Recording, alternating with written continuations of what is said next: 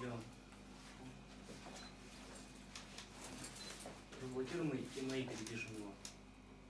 За что был задержан? За наркотики. За что именно? Что да. ты делал с наркотиками? А я, ну, что-то упаковку делала, а еще...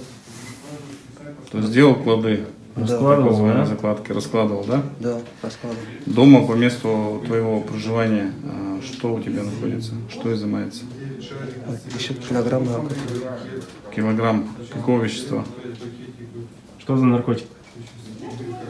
Как называется?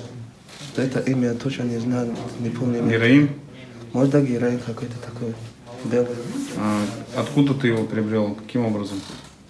Просто мне звонили и сказали, то, что тот адрес, сказали, иди, забирай, забирай, короче. Тебе позвонили, сказали, что на том адресе нужно тебе забрать. Ты приехал, в указанном месте нашел, забрал. Да. Привез домой, начал фасовать Да. и в последующем должен был разложить по местам закладок, верно? Да, А ту информацию должен был выложить в интернет. Так? ага. Сколько денег обещали за это?